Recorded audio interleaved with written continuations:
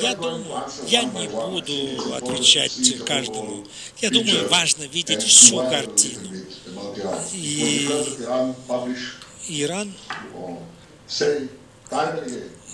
говорит все время, лидеры, в основном Ахмадинежад, но и другие лидеры Ирана,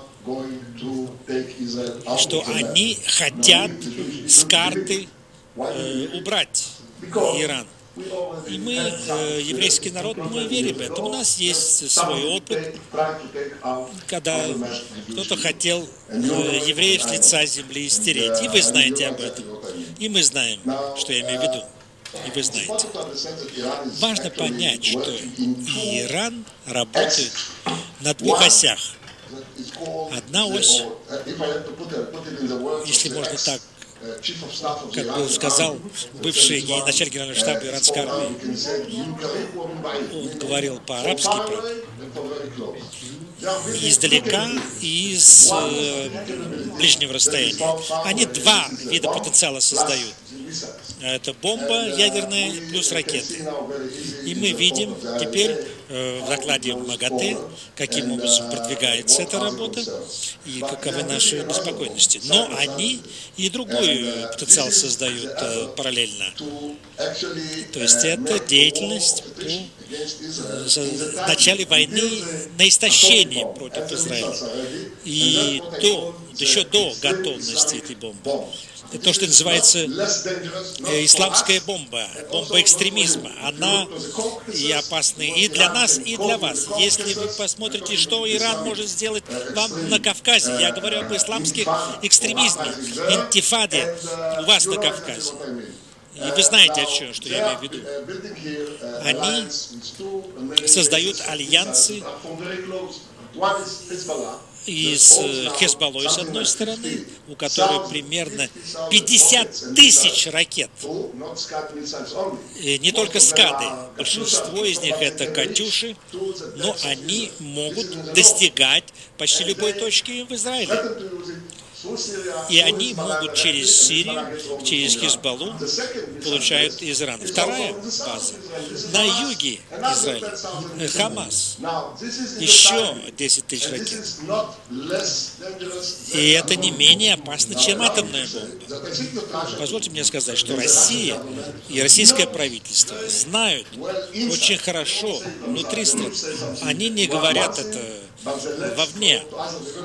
Э, так сказать, клубы одно говорят, многие в другую сторону идут. Я хочу напомнить об этом иранском проекте, россиянам, российскому правительству.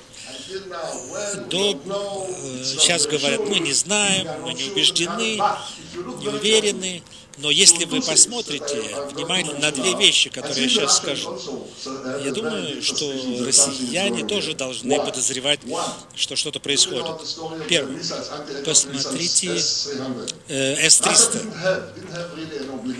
У России э, не было обязательства не продавать. Это оборонительное оружие. Но вы видите, все-таки, что Россия, я думаю, что Израиль и другие страны и регионы должны благодарить э, россиян за это. Российское правительство решило не продавать С-300 и повредить своим отношениям с Ираном. Почему?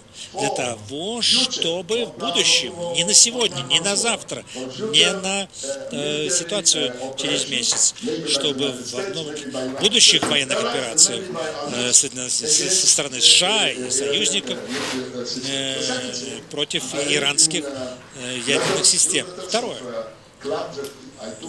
Это вот сообщений клуб, Валдайский клуб.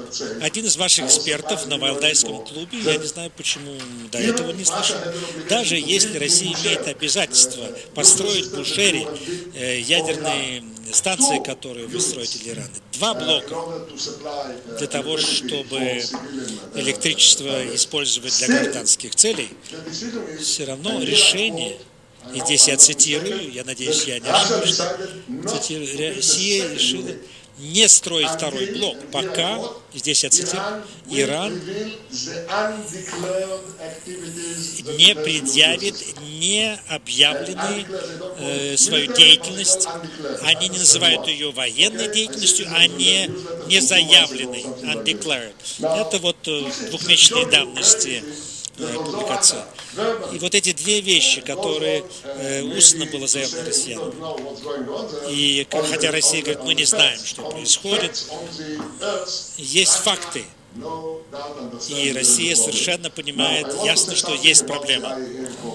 И что касается МАГАТЭ, доклады МАГАТЭ, нет всякого сомнения, информация была и раньше в МАГАТЭ.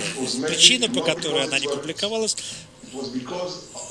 потому что глава МАГАТЭ, господин Бородей, был, и сейчас мы видим совершенно ясно, как, что теперь эти э, Эль-Барадей ушел из МАГАТЭ в Египте, он сейчас э, хочет, выдвигается в, на пост президента Египта, и, возможно, будут для того, чтобы э, мирное соглашение с Израилем разорвать. Он здесь не нейтральная фигура, он участвовал во всем этом глубоко. Сейчас э, мы видим больше свидетельств его антиизраильской, антизападных настроений его.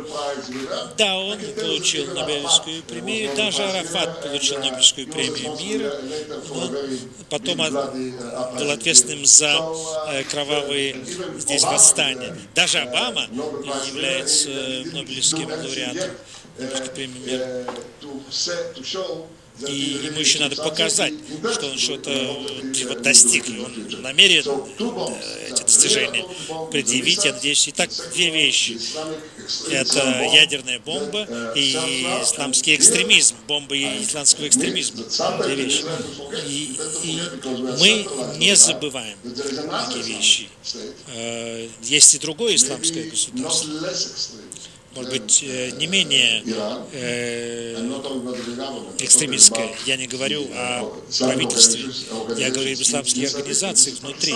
Это Пакистан возможно, имеет ядерную бомбу, и арабские э, и, и они, э, те, кто участвует в восстаниях, демонстрациях исламских, они называют ее исламской бомбой. И вот сейчас арабская весна, это весна экстремистского ислама. Посмотрите в Тунис на выборы, посмотрите, кто управляет теперь э, этими подразделениями в Ливии, посмотрите мусульманские братья в Каире. В Сирии, да, немножко отличается. И в целом мы видим здесь соединение реальной атомной бомбы с идеологической экстремистской исламской бомбой.